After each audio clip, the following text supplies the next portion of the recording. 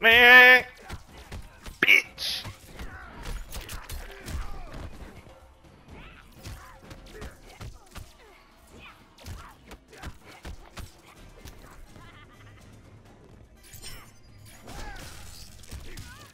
Goofy ass nigga.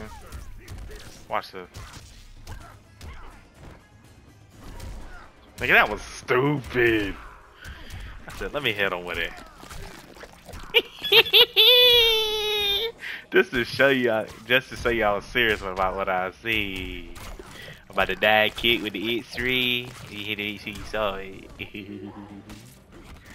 don't know. you threw me away. Nice, because I tacked forward. Uh, uh. Uh.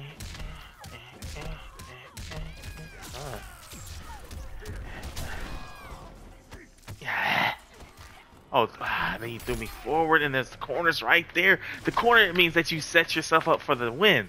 You know that, right? That's why you need to grab towards the corner. It sets you up for the win. That's why you're losing so much. You need to be doing shit like that. It, it matters. I know you think it doesn't matter.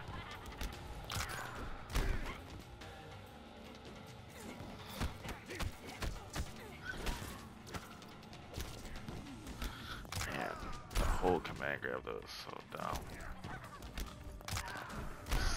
16.